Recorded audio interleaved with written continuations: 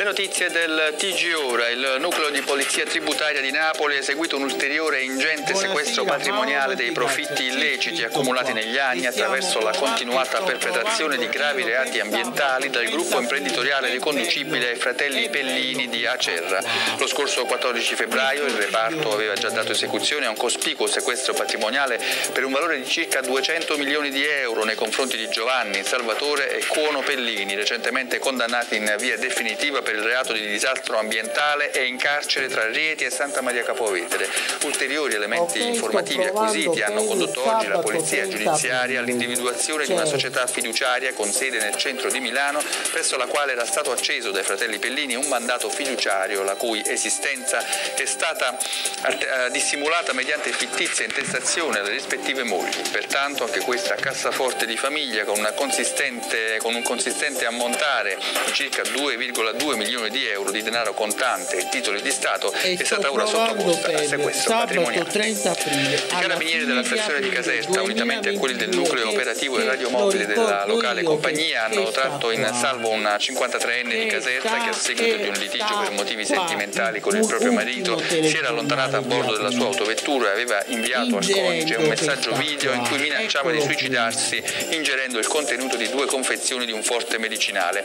I militari dell'arma, allertati dall'uomo, sono riusciti a localizzare l'autovettura in via Niccolini a Caserta e hanno quindi soccorso la donna, trovata ancora in vita nonostante avesse già ingerito il farmaco. La stessa, a seguito dell'immediato intervento dei sanitari del 118, è stata trasportata presso il pronto soccorso dell'ospedale civile di Caserta, dove è stata ricoverata in prognosi riservata, ma non è in pericolo di vita. Il segretario generale della conferenza episcopale italiana Nunzio Galatino sembrerebbe il candidato più accreditato a prendere il posto di Crescenzio Sepe, arcivescovo di Napoli dal 2006, pronto ad andare in pensione per raggiunti i limiti di età il prossimo 2 giugno al compimento dei 75 anni. Salvo deroghe che al momento appaiono improbabili, entro quella data il cardinale dovrà presentare le sue dimissioni e Sepe non ne fa neanche un gran mistero. Nel corso dell'ultima conferenza episcopale campana, infatti, ha lasciato intendere ai confratelli di essere pronto a lasciare fare.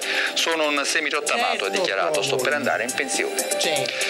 Fermati al porto di Forio sull'isola di Ischia, lei incinta al settimo mese, lui con un piccolo precedente per furto. Due giovani pusher sono stati sorpresi nella serata di ieri dai carabinieri della stazione di Forio direttamente sul molo, dove erano appena sbarcati dall'escapo partito da Napoli. Il 21enne residente a Forio è stato tratto in arresto in flagranza di reato, mentre la ventenne è stata denunciata a piede libero perché incinta. È proprio sulla gravidanza di lei che i due avevano scommesso per eludere ogni controllo e passare inosservati con la droga acquistata a Napoli. 100 grammi di hashish e 2 grammi di cocaina, questa è la sostanza sequestrata dai carabinieri in borghese che avevano già in precedenza seguito da vicino le mosse dei due giovani pusher e si intensificano le verifiche igienico-sanitarie dei NAS negli esercizi commerciali della provincia di Napoli. Lo scopo è prevenire anche sotto l'aspetto amministrativo violazioni che possano recare danno alla salute pubblica. L'ultimo significativo sopralluogo è avvenuto in un noto supermercato del Corso Campano di Giuliano dove si è proceduto al sequestro amministrativo di un deposito usato per lo stoccaggio degli alimenti e della sua cella frigo. La struttura era utilizzata senza autorizzazione ed è risultata priva di requisiti previsti dalla legge. Sequestrati anche 50 kg di alimenti tra carne, vegetali e latticini, tutti privi di documentazione utile alla loro tracciabilità.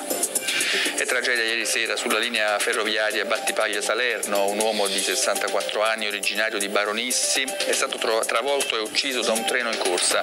Il macchinista che conduceva il convoglio non ha fatto in tempo a fermare il treno. Sul posto si sono precipitati i soccorritori del 118, gli agenti della Polfer di Battipaglia che non hanno potuto far altro che constatare il decesso decesso dell'uomo e avviare le indagini per capire se si tratta di incidente o di eventuale suicidio. E con questo per il momento è tutto, grazie per essere stati con noi, appuntamento al prossimo TG Ora.